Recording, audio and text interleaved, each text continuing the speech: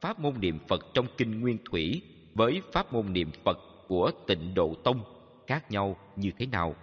Một vị thượng tọa ở Học viện Phật học thành phố Hồ Chí Minh có giảng: Người niệm Phật được nhất tâm bất loạn, khi chết được vãng sanh cực lạc Tây phương là vị A Na Hàm hay trung gian bát niết bàn.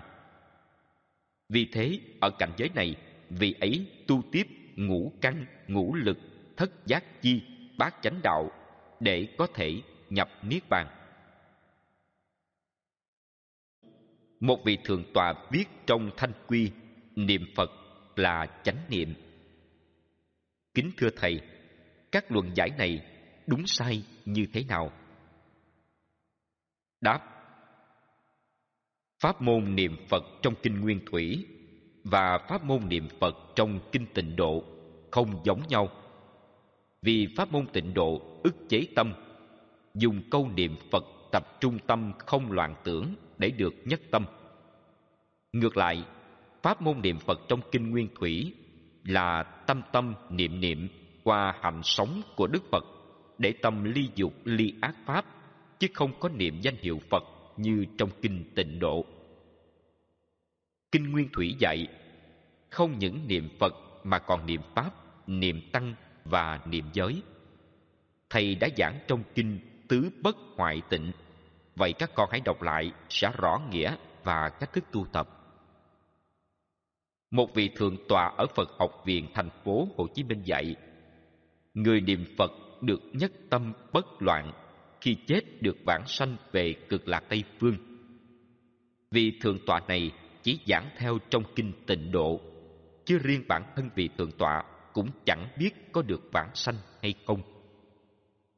Theo thiển nghĩ của thầy, Một nước cực lạc ở Tây Phương Là một nước thanh bình và rất vui. Người dân ở đó tính tình phải hiền hậu, không còn tham, sân, si. Trái lại, người thế gian niệm phật được nhất tâm, mà tính tình hung ác vẫn còn tâm, tham, sân si, ngút ngàn. Nếu được phật a di đà rước về nước cực lạc, thì nước cực lạc có còn cực lạc và thanh bình nữa không? Các con cứ suy ngẫm, đừng để mình bị lừa đảo, đừng sống trong tưởng các con ạ. Phải sống trong thực tế, đừng mơ mộng ảo huyền, toàn thứ bánh vẽ. Thật sự không ích lợi gì cho kiếp sống hiện tại của con người, các con ạ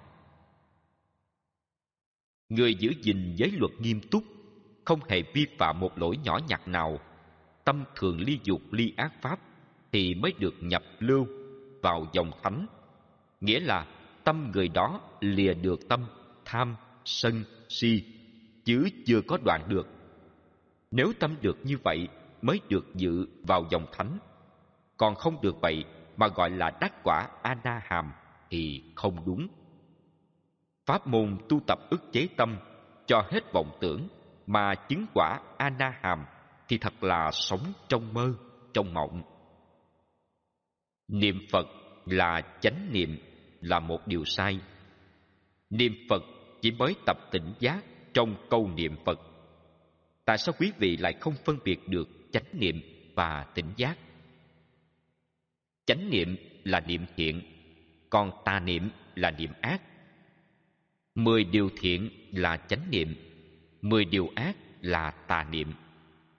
Tỉnh giác là tỉnh thức.